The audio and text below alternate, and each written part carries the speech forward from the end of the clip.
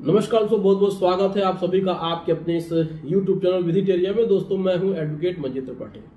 दोस्तों, आज के इस वीडियो में हम लोग बात करेंगे कि क्या डीआरटी के ऑर्डर के बिना भी बैंक फ़िज़िकल पोजीशन ले सकता है सेक्शन 14 में।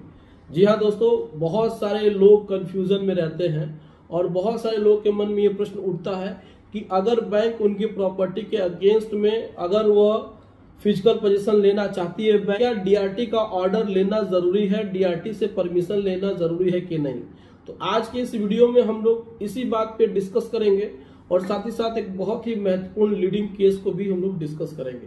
तो दोस्तों देखिए, सबसे पहले तो हम आपको बता दें कि अगर आपने कोई भी सिक्योर्ड लोन लिया है, किसी भी बैंक से लिया है प्रॉपर्टी मॉर्गेज की है, आपके और बैंक के बीच में प्रॉपर्टी मॉर्गेज एग्रीमेंट बना हुआ है और आपने अपना पैसा समय पे नहीं दिया है और आपका अकाउंट एनपीए हो गया है। अब आप उस एनपीए अकाउंट के बाद बैंक आपको भेजता है तेरह दो की नोटिस जो कि डिमांड नोटिस होती है।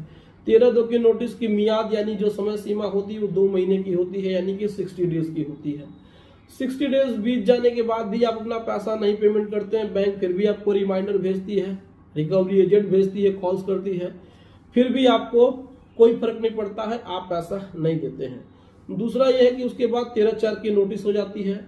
बैंक क्या करता है कि अपने अधिकारियों को आपके दरवाजे पे भेजता है, आपके मॉर्गेज प्रॉपर्टी पे चिपका देता है एक नोटिस और उसकी फ़ोटो खींचता है, वो आपको देता है। ये होती है सिंबॉलिक पोजीशन की नोटिस कि बैंक ने सांकेतिक रूप से आपके घर पे कब्जा कर लिया है। फ़िज़िकल रूप और सांकेतिक रूप दोनों अलग अलग होते हैं। फ़िज़िकल रूप में होता है कि बैंक ताला लगाता है। ताला लगा करके जो भी आपकी प्रॉपर्टी में सामान है, वो सब लॉक हो जाता है। सांकेतिक रूप का क्या होता है कि उसमें आप प्रॉपर्टी का यूज़ करते रहते हैं, लेकिन फिर भी वो संपत्ति बैंक के पास चली जाती है।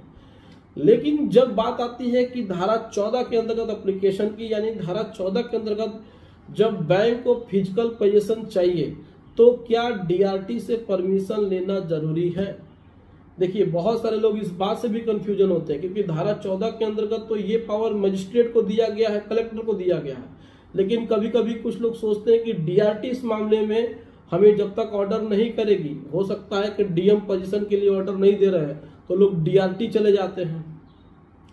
अब यहाँ पर डीआरटी क्या परमिशन देगी तभी बैंक फ़िज़िकल पोजीशन लेगा या बिना डीआरटी के परमिशन के भी फ़िज़िकल पोजीशन हो सकता है?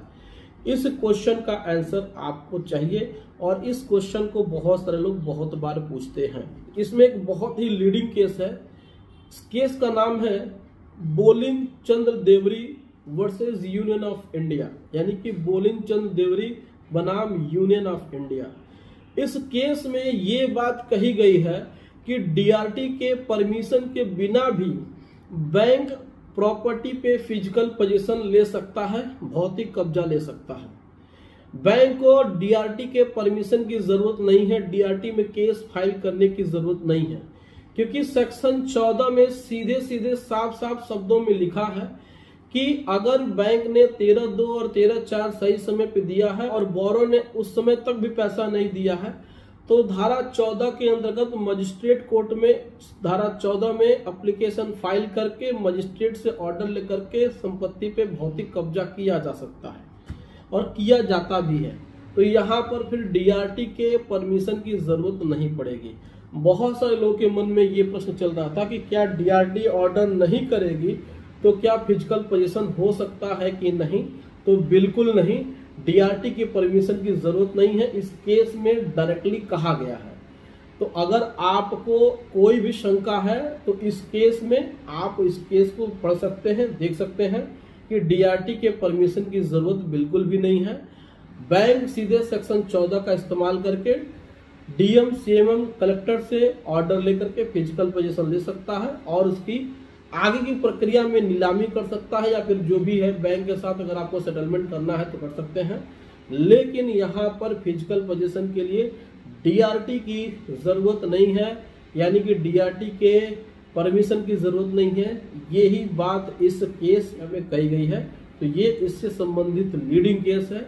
अगर आप एक एडवोकेट हैं बैंक के एडवोकेट हैं तो आप इस केस का हवाला दे करके अपने केस को मज़बूत कर सकते हैं, या फिर आपको जर्नल नॉलेज की ज़रूरत है तो भी आप इस केस को पढ़ सकते हैं।